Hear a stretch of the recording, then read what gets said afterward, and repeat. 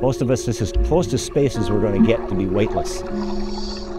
We've saved veterans' lives one dive at a time. It's zero gravity. There's no gravity down underwater. So when they're down there moving around, they can do a lot more movement that they couldn't do where they're above water. So they get a lot more stretching in and a lot more movement. I tell people I have a, a, a thousand step rule.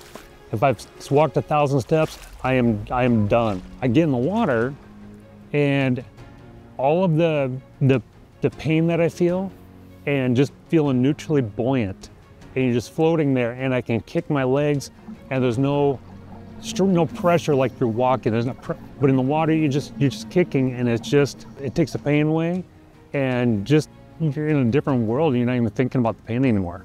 So just for me, it's just I love it. Wanted to give something back to the vets. When I got out, there we didn't. There was no parades. There was no welcome home. No nothing.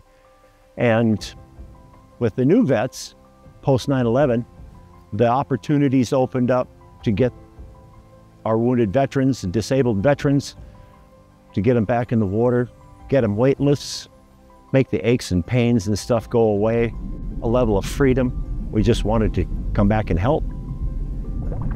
The mission of Veteran Scuba is to try to get as many vets back out in the water, just to give them something different to do than their regular PT and what have you.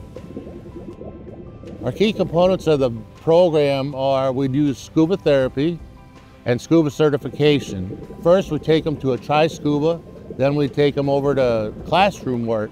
Once they get the classroom work finished, then we let them go into the pool, do their pool time, and then we take them to the lake to get certified.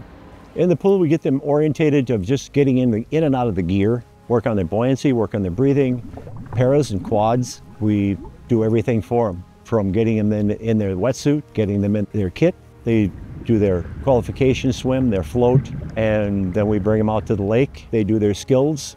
We go look at the fish. There's four dives to qualify for their certification card. And Tim sets up trips to the Caymans so we can get them out and get them in the ocean and they can see everything then. The mental benefits of this program is when they're down there, they can just let everything go. We have people with PTSD that I'm dove with. You just go out there and it's so peaceful and relaxing and it's just so, it gets you so focused on other things outside of your head. It takes their mind away to where they're not worried about the noise. They're not worried about things that can set them off.